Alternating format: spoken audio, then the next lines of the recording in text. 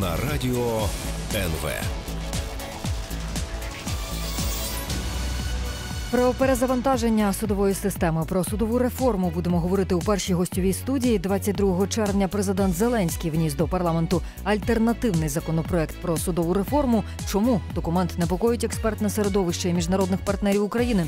Про все це поговоримо із нашим гостем. Представимо його за мить. Якщо голова болить на погоду, фармадол прийде на допомогу. Фармадол таблетки від головного болю. І з нами на телефонному прямому зв'язку Ярослав Юрчешин, народний депутат, перший заступник голови комітету з питань запобігання корупції. Доброго ранку. Перевіряємо зв'язок. Доброго ранку. Чути нормально. Отож, перша частина, що вас особисто, як народного депутата, як людиною, яка має досвід у розробці, в тому числі законопроєктів, зокрема і антикорупційних, турбує в цій самій пропозиції Володимира Зеленського в альтернативному законопроєкті про судову реформу. Справа в тому, що е, українська влада обіцяла і суспільству, і міжнародним партнерам е, провести оцінку на доброчесність та професійність членів Вищої ради правосуддя, тобто тих людей, які відповідають за відбір суддів. Оце виглядає досить дивним, коли а, судді проходять а, конкурсний відбір і відповідно доводять, що їхні статки відповідають їхнім заробіткам, тобто вони не задіяні до не залучені до жодної корупції. А ті, хто їх відбирає, такого відбору не проходять. Як у результаті ми зараз маємо а, те, що Вища рада правосуддя залишає на посадах суддів майдану, а які вчиняли ну фактично незаконні дії та там забирали права в автомайданівців, чи не помічали злочинів а, тих, хто розстрілював людей на майдані, так от як залишає на посадах суддів корупціонерів.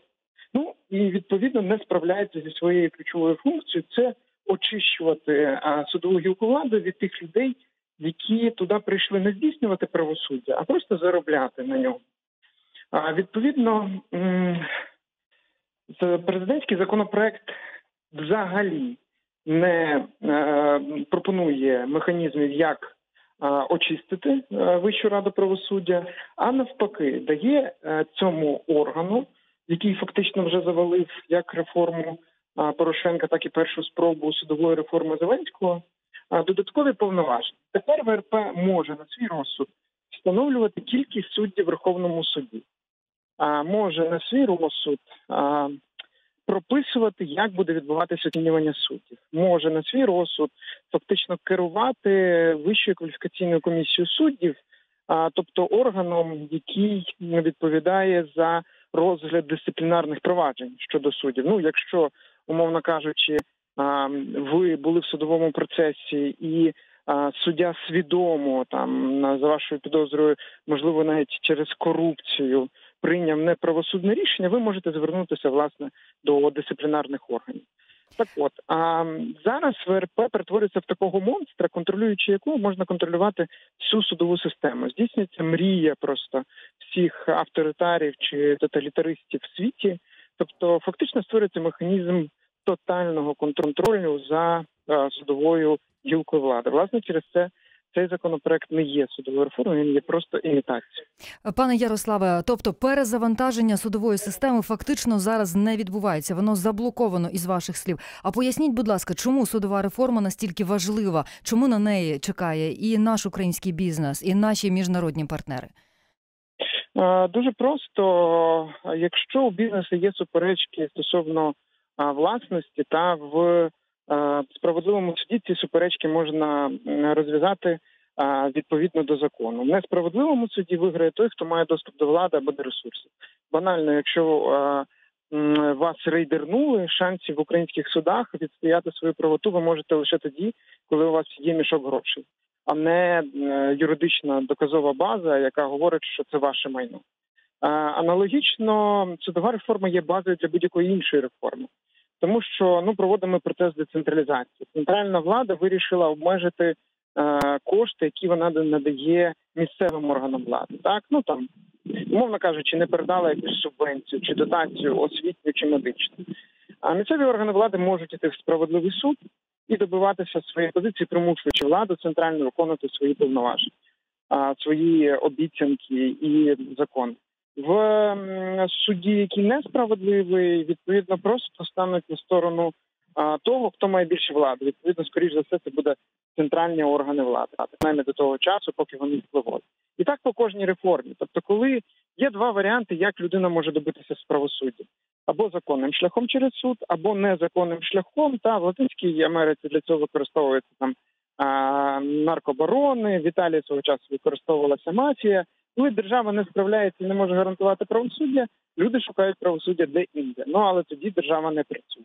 Слухайте, у нас зараз ситуація, про яку часто кажуть, в тому числі представники суддівського корпусу, що там ледь не половина вакантних місць у судах, особливо у перви у першій ланці, так і відповідно, де тоді брати цих суддів. А якщо зараз ще й дивитися на статки кожного і кожної з них, то ми можемо взагалі виявитися без судової системи. Бо якщо там статки десь не співпадають, то так що тоді з цим робити? Як, якою мала б бути на вашу думку логічна перспектива виходу з цієї проблеми?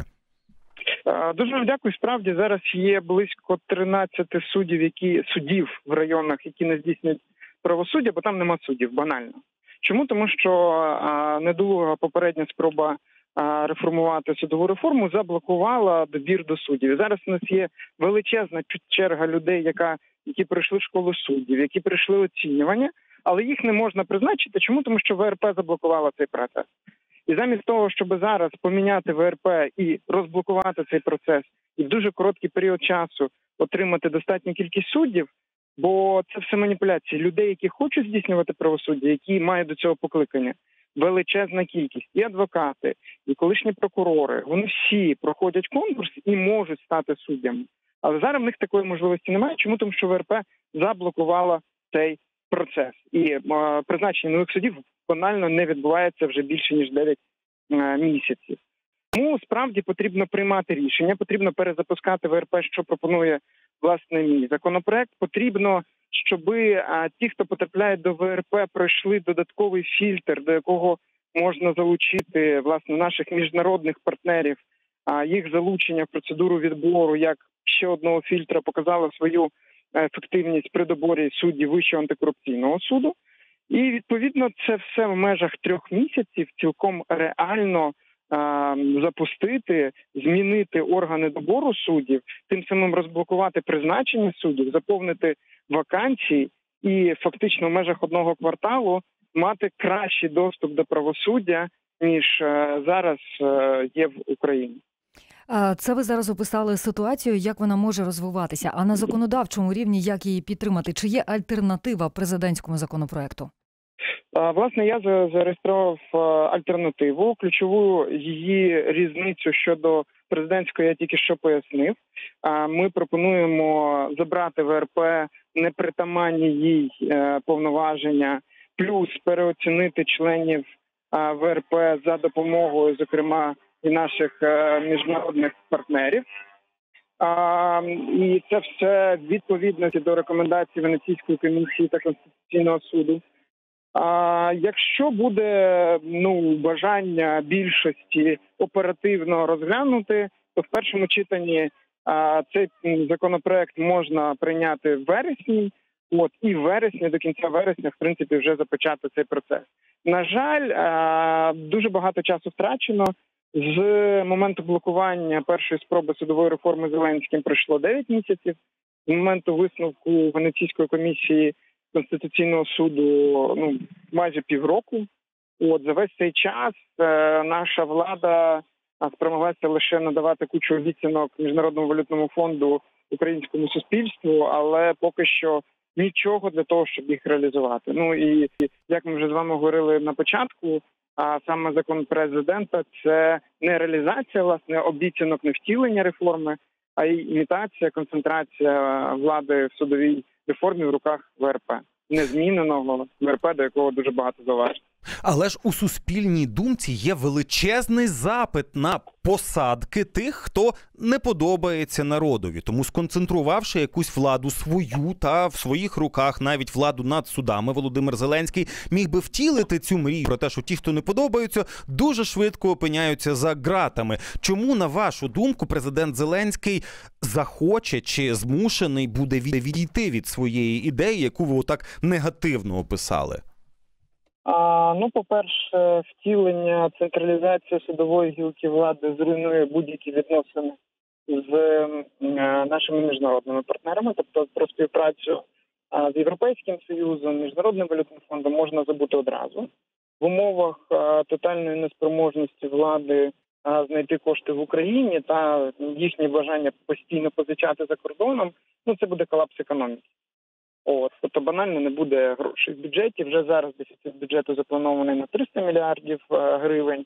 А в принципі, по динаміці до кінця року точно буде 400 мільярдів. А з втіленням такої псевдореформи а, можна мати і суттєво більше, бо значна частина коштів а, прибутків надходжень бюджету, та це позики від наших міжнародних партнерів. А другий момент керована судова система ніколи в довгостроковій перспективі не приводила до жодних посадок. Керована судова система за часів Януковича таки посадила Юлію Тимошенко, але призвела фактично до розпаду і до розвалу режиму Януковича, бо всі політичні справи були переглянуті а, а, в межах там горизонту п'яти років. Звісно, якщо не буде судової реформи, то ми опинимося знову біля розбитого корита. Бо зараз, е, ну знаєте, є така е, іронія долі.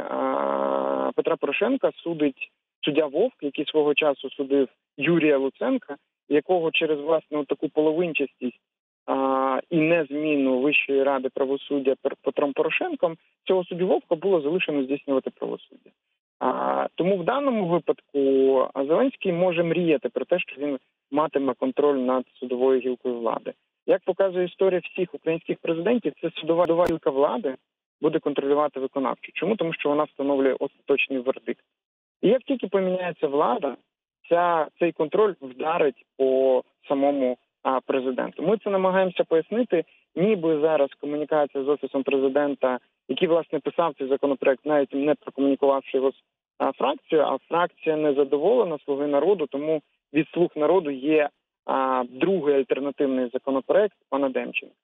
Так от а, зараз намагаємося пояснити, що а, лише незалежна професійна доброчесна судова гілка влади може забезпечити законні посадки. А незаконні посадки в будь-якому випадку ми частина європейського простору. Вони просто будуть банально скасовані чи українськими судами, чи міжнародними. Михайло Жернаков, голова правління фундації Де Юра, доктор юридичних наук, добре відома вам людина у Фейсбуці на своїй сторінці аналізував публічне звернення країн Великої Сімки, ніби переклав його з дипломатичної мови. Ось про що він написав. Президентський законопроект це він ніби перекладає так з дипломатичної мови. Так, от президентський законопроект проект не відповідає міжнародним зобов'язанням України. І якщо він буде прийнятий у такому вигляді, ніяких експертів для відбору вищої кваліфікаційної комісії судей міжнародна спільнота спільнота не делегуватиме. А що це насправді означає для України, для міжнародного іміджу України і перед яким вибором стоїть зараз президент Зеленський? Ну, ви знаєте, що ми почали довгострокову програму співпраці з міжнародним валютним фондом і отримали лише перший транш. При прийнятті цього законопроекту про другий, третій і подальшу співпрацю з міжнародним валютним фондом на тривалий час е, доведеться забути. А в ситуації, коли в країні економічна криза спровокована як безгосподарністю, так і коронавірусом, а тобто можна перекласти простими словами гроші за кордоном навпаки перестануть. Друге, є величезна кількість е, програм співпраці України з міжнародними партнерами, там вдосконалення е, митних переходів, інфраструктурні проекти по підтримці там портів, доріг і тому подібне. Про це теж можна буде в принципі забути. Так, тобто міжнародні партнери не будуть працювати з державою, яка свідомо показує, що вона не хоче жити за законами, вона не готова встановлювати правосуддя, а вона хоче жити в системі керованих керованого судочинства. Навіть так. Зате депутат Дубінський буде розказувати, що у нас шикарнючий суверенітет. Я вам дуже дякую за розмову. Ярослав Юрчишин був з нами на прямому телефонному зв'язку. Народний депутат, перший заступник голови комітету з питань запобігання корупції Верховної Ради України. І зараз ми йдемо на новини. А після того буде друга, е, теж гостьова студія.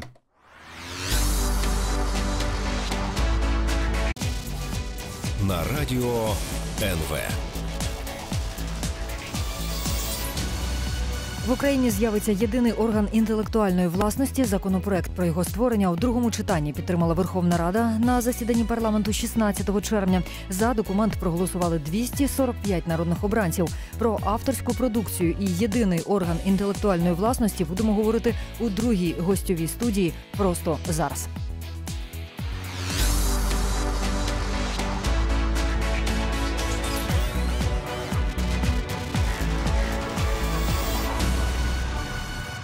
Олена Мініч, екс-директор департаменту інтелектуальної власності та інновацій Міністерства економічного розвитку. Це було у 2015-17 роках. А також експертка з цифрової економіки. Е, З нами зараз на зв'язку. Перевіряємо зв'язок. Доброго ранку. Чи нормально чути нас? Так, зараз перенабираємо. Секундочку. Е, Пс, тут має бути. Спробуємо ще раз зв'язатися. А давайте я поки поясню е, те коло питань, які ми збиралися окреслити е, сьогодні під час другої гостьової студії. Як я вже розповіла, а, 16 червня в другому читанні Верховна Рада ухвалила законопроект у другому читанні, підтримала законопроект е, про е, створення єдиного е, органу е, інтелектуальної власності. Е, І от велике запитання: чи означає ухвалення такого закону, що відтепер питання інтелектуальної власності в Україні дійсно е, вирішено остаточно, так би мовити. Кожна людина розуміє, як захищати інтелектуальну власність, що робити, куди бігти, куди телефонувати. Про все це будемо розпитувати в Олени Мініч, екс-директора департаменту інтелектуальної власності та інновацій е, Міністерства економічного розвитку у 2015-17 роках. Експерта із цифрової економіки. Намагаємося ми, щоб вийшла пані Олена на прямий вайбер зв'язок. А що ж ем, е, зараз, зараз, зараз, зараз, ось ось має це статися. Ось ось Да, має це Технологічно вона просто в іншій країні. Зараз спробуємо почути. Доброго ранку, чи нормально мене чути? А, ні, поки що знову ж таки тиша. Щось не працює технічне. Зараз будемо з'ясовувати. Отож, об'єкт єдина структура, яка буде відповідати за об'єкти інтелектуальної власності. Ми вже брали цю тему кілька тижнів тому, коли тільки законопроект готувався до другого читання. Що це означало би? Зокрема, це могло би означати, що ви сплачуватиме сплачуватимете спеціальний збір на навіть чистий офісний папір. Тобто, якщо ви купуєте будь-який дівайс, на якому потенційно можна скопіювати чиюсь авторську власність, наприклад, чиюсь пісню чи чиєсь кіно, то ви мусите заплатити певну суму для того, щоб ця сума компенсувала, е, ну, була направлена автором, тобто правовласникам цього твору чи цих творів.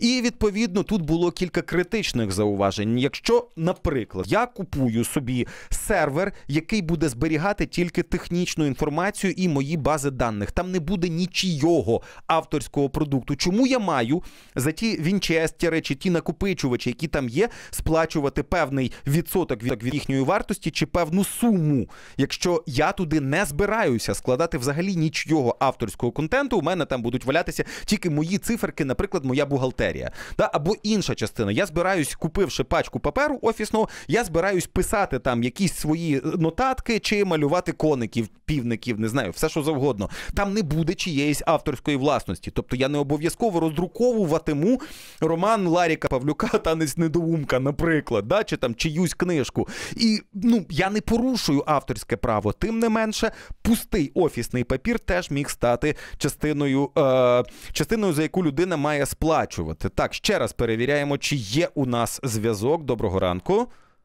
Алло, поки що немає. Давай Відновлюємо я давай я поки що поясню за який документ проголосували парламентарі 16 червня. Йдеться про створення національного органу інтелектуальної власності України, власне, як юридичної особи публічного е, права. Е, Пояснюється, що цей орган буде належати до сфери управління Міністерства розвитку економіки, торгівлі та сільського господарства. Е, Також е, пояснює пояснюється, що Міністерство економіки буде забезпечувати формування та реалізуватиме державну політику у сфері інтелектуальної е, власності. Ну а цей новий орган буде видавати охоронні документи, патенти, свідоцтва. Саме за цими документами слід буде прийти до цього нового органу національного органу інтелектуальної власності України. Отак він е, називається. Е, Також функції цього національного органу інтелектуальної власності виконуватиме державна організація. Вона буде створена на базі державного підприємства Український інститут інтелектуальної власності і належатиме до сфери управління е, Мінекономіки. Отака от історія. В Італії є подібний досвід, але там він розділений. Наприклад, є така компанія, яка має філіали чи там представництва чи офіси в різних частинах самої Італії. Тобто є, наприклад, Італія Film Commission, яка базується у Римі. Є Італія Commission, в яке, яке базується в Неаполі. За чим стежить ця організація? Хто би, наприклад, з медійників, кіношників чи все що завгодно збирався організовувати зйомки десь на італійських визначних об'єктах, тобто можна абсолютно легально для зйомок політати гелікоптером над Везу... е, над Везувієм. Та можна там зайти в будь-який стародавній храм, можна знімати в Ватикані, можна знімати в якихось арт-піцеріях, наприклад, де там спеціальні оці піцайола, вони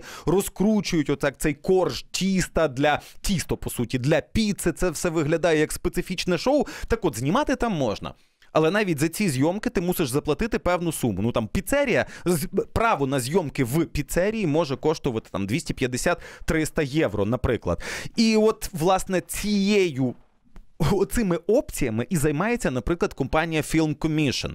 Тобто, це все віддається потім на, начебто, збереження цих пам'яток, якщо ми говоримо про пам'ятки історії, якщо ми говоримо про якісь стародавні храми, або це йде на підтримку отої таки шоу піцерії, де піцайола випус... виступають і роблять щось неймовірне під час приготування тої самої піци. Там це влаштовано отак. Але Італія до цього йшла багато-багато років насправді, тому що вже там 15-20 років тому, коли ще не було такого повального цифрового користування усім. Я вже, здається, згадував навіть цю історію. От ти влаштовуєш вдома вечірку. Для італійців, для італійського законодавства межа була 20 людей. Якщо ти на власне весілля умовно запросив 21 людину, тобто у вас хором тут 21 людина або більше, і ти, ти включаєш на своєму власному весіллі музичку зі своїх власних придбаних ліцензійних компакт-дисків, то якщо в тебе гостей на вечірці, на весіллі, на будь-чому понад 20, ти мусиш ще окрему копієчку, там був певний е, розмір цієї платні, я його зараз просто не згадаю, та? але ти все одно мусив заплатити у Ого, якусь це вже таку організацію. типу. Так, бо це називається Так, 20 цікаво. людей. Це межа того, що називається публічне прослуховування чи публічне виконання. Ти коли купуєш компакт-диск, там написано, що для персонального прослуховування ти собі купив або своїй родині. Для італійців тоді це було 20. От 21 людина у тебе на вечірці вдома, в твоїй закритій квартирі з, лиці... з ліцензійного компакт-диску, все. Обов'язково заплати, але повторюся, це йшло багато років і розвивалося багато років. Слухай, у мене тоді запитання: а хто ходить і рахує тих людей на тій вечірці чи на тому весіллі? Має бути спеціальний уповноважений орган, який має такі повноваження. Знову таки Думаю, що ні. Думаю, що хтось із гостей обов'язково зацікавиться. Хтось із гостей обов'язково настукає. Це стало вже традицією, тому що ну сплатити авторське його якось ну домоглися ті, хто виступав за дотримання авторських прав у Італії, домоглися того, щоб це стало нормою. Сплачувати навіть коли ти ставиш музику для натовпу, ну невеличкого натовпу з легальних ліцензійних компакт-дисків, але не призначених для публічного відтворення і Ну, от бачиш, зараз я в тебе спитала, хто ходитиме і рахуватиме, тому що в моїй парадигмі я думаю, це треба контролювати. Одразу в мене вмикається така функція, така ідея. Але я зараз вже подумала, коли ти відповідав на моє запитання. А можливо, просто італійці реально настільки свідомі, свідомі, що вони розуміють, якщо це велике весілля від мене вимагають додаткової копійки за те, що я публічно прослуховую якусь музику, за яку вже сплатив персонально за персональне, так би мовити, прослуховування, то чому б це не зробити? Особливо, якщо це недорого, особливо якщо це є традицією держави, особливо якщо це е, морально приємно, так би мовити, і підтримується законом держави. Ну отак знову ж таки, це одна частина. Італія це, одна частина. Сама по собі власність, право власність, це ж не лише про музичні твори, це не лише про поетичні чи прозові, літературні твори. Це, зокрема, і винаходи, це, зокрема, і патенти на якісь технічні впровадження, те, що називається корисна модель. І оце патентування, воно ж теж вимагало регулювання в Україні, тому що воно було досить застарілим довгий час. Воно нам лишилося у спадок від Совєтського Союзу, і сам сама процедура, да, одна справа отримати патент на якийсь винахід, чи те, що називається корисна модель. Да, От якийсь ти при от якийсь якусь штуку ти можеш робити ефективніше, дешевше, швидше, неважливо. Да? Е, і і це твой, твій винахід, це твоя розробка, це твоя авторська власність. Так от ти можеш це зафіксувати в Україні, але окремо маєш фіксувати, наприклад, на ринках інших країн, чи, наприклад, у Європейському Союзі. Рух до Європейського Союзу ще й також передбачав би взаємне визнання патентів. Тобто, якщо щось запатентовано зареєстровано в Україні, то ці патенти ну ніхто би не зміг повторювати безкарно мій умовний винахід. У мене, на жаль, немає винаходів ніяких. Е, але от якби я щось винайшов, то ніхто би не зміг повторювати це в Європейському Союзі, тому що це визнавалося би на навзаєм. Та і звісно, звісно, я би не міг повторювати чи впроваджувати у виробництво і заробляти потім гроші на чиємусь іншому винаході. Ось наші редактори повідомляють, що Олена Мініч зараз на прямому зв'язку, телефонному зв'язку зі студією. Вона є екс-директором департаменту інтелектуальної власності та інноваційної інновації. Вибачте, Мінекономрозвитку в 2015-2017 роках. Експерт із цифрової економіки. Пані Олено, доброго ранку. Чи добре нас чути? Доброго Доброе ранку. утро, да. Ура, ура! Ви вийшли на прямий зв'язок. Нам це вдалося. Вам це вдалося. Дуже раді вас чути в нашому ефірі. Тож е, говоримо зараз про законопроект, е, який підтримали народні обранці. А в нас тут в Україні зараз ви просто не в Україні перебуваєте, тому я так кажу. Чи означає ухвалення такого закону, що відтепер питання інтелектуальної власності в Україні от дійсно вирішено остаточно? Є в нас орган, національний орган інтелектуальної власності України. Він усе вирішуватиме, він усе координуватиме. Е, координуватиме. Ну, во-первых, это только первый шаг для того, чтобы все было решено, а, поскольку принятие закона еще не означает, что орган уже создан. То есть, э, э, по сути, э, нужно как раз его сейчас и создавать. Для этого по закону есть три месяца отведенных до момента вступления в закон в силу. И кабинет министров сейчас должен подготовить полностью как бы, план перехода от э, системы управления интеллектуальной собственности, которая есть сейчас, и перестроить Укрпатент – именно на новый орган с новыми функциями. То есть э, выделить функции, заложенные сейчас в Министерстве экономики и сельского хозяйства, а, передать полномочия на не только проведение экспертизы э, заявок на промзразки, торговые марки и э, вынаходы, но в том числе и передать полномочия согласовывать и подписывать такие документы. Как правило, это функции государства, а, но а, вот именно система реформирования состояла в том, чтобы сократить этапы, э, когда клиент бегает между разными ведомствами и иметь так называемый доступ единого окна. То есть вы пришли э, в орган патентный, он называется во всех странах патентное ведомство. Вы пришли в патентное ведомство, подали заявку, эта заявка была этим патентным ведомством отработана, и этим же патентным ведомством выдан охранный документ. Ну и попутно решаются такие а, наболевшие проблемы государства Украины, как коррупция, как а, неэффективность работы системы, в принципе, поскольку очень много а, ненужных функций было принято. Ну, представьте себе, Укрпатент строил здание, ежегодно внедрял какие-то там новые IT-системы, которых никто не видел и так далее. То есть эти все проблемы присущи всем государственным органам, поэтому есть надежда, что, что сейчас появилась законодательная возможность эти проблемы решить. Якщо говорити про реєстрацію навіть торгової марки, я пам'ятаю власний досвід, коли ми запускали один медійний проект. Під нього розроблена була, наприклад, вся візуалізація цього, запущений спеціальний сайт, отримане доменне ім'я. Але щоб зареєструвати торгову марку після навіть подачі всіх тих документів, ну треба було дуже дуже довго чекати. Там щось могло там тривати півтора року, а то й до двох. Наскільки зараз це може скоротитися і стати зручнішим для тих, хто щось виробляє?